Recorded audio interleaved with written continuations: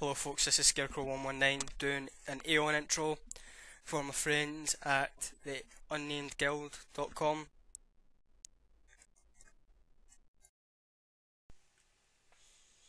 Okay, let's get started then.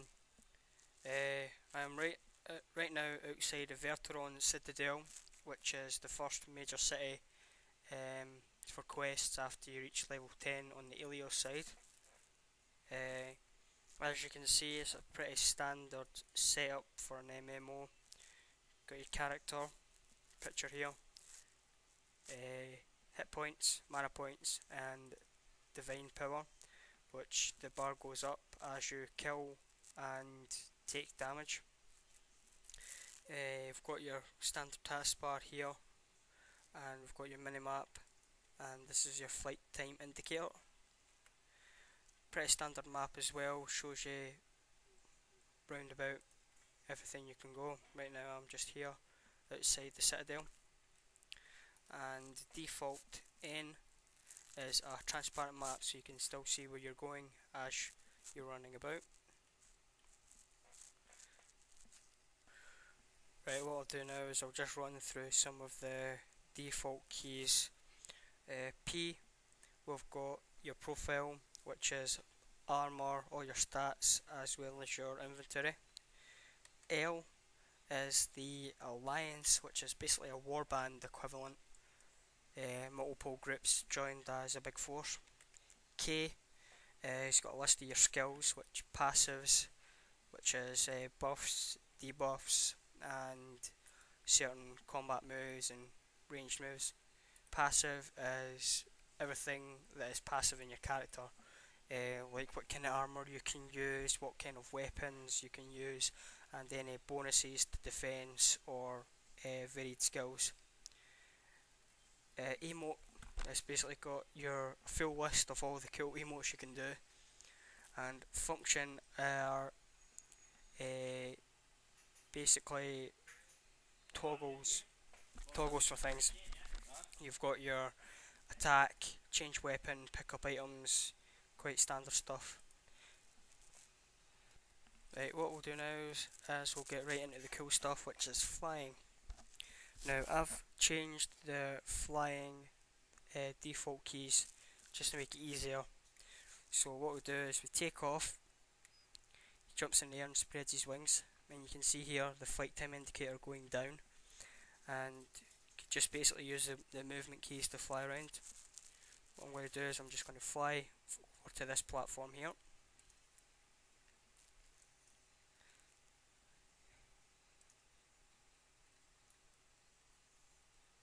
got quite a full range of movement as well and you can also have air combat and uh, certain classes get bonuses while they're in the air. Spread, just close down the wings now, run around in this platform and you got the second coolest thing which is gliding which if you jump off any high height you can spread your wings and glide. So, I'm going to jump off the cliff, spread the wings, see me gliding here. Now gliding you can do anywhere, uh, uh, but it still has the still has a certain limited flight time.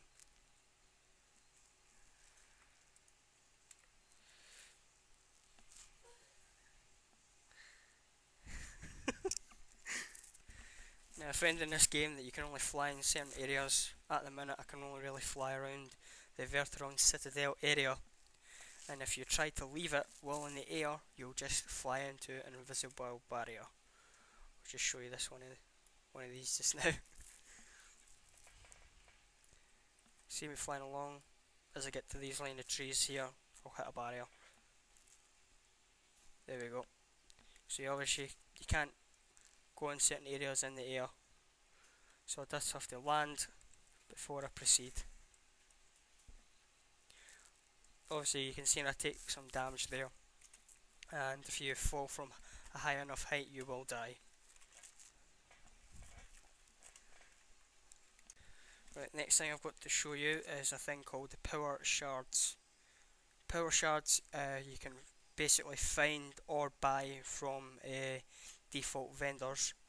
As you can see here, I've got some shards. regular power shards. I've got equipped them to my staff just now. And what they do is when you equip them and activate them, they actually boost your damage. So the default to activate them is B. You'll see activated golem. And that is basically put up your damage. I'm going to take my staff out. I'm going to wave it around a bit. Kill this safe. You see that you'll see actually see it activating. You see him going down.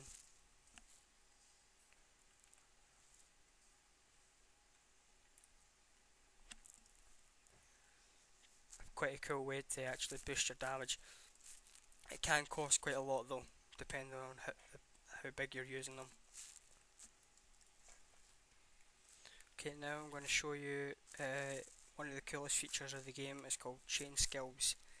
Uh, each character class has different has some skills that basically lead on to each other.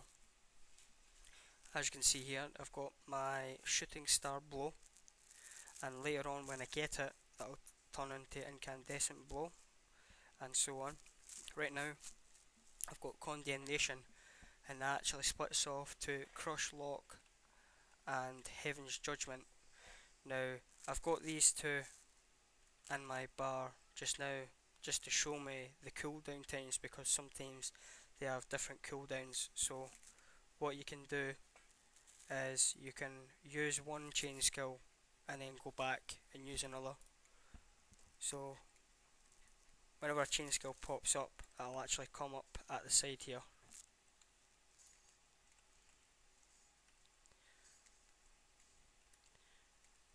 Use Condemnation.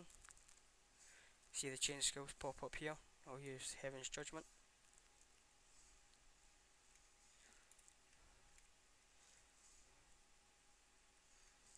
then Crush Lock.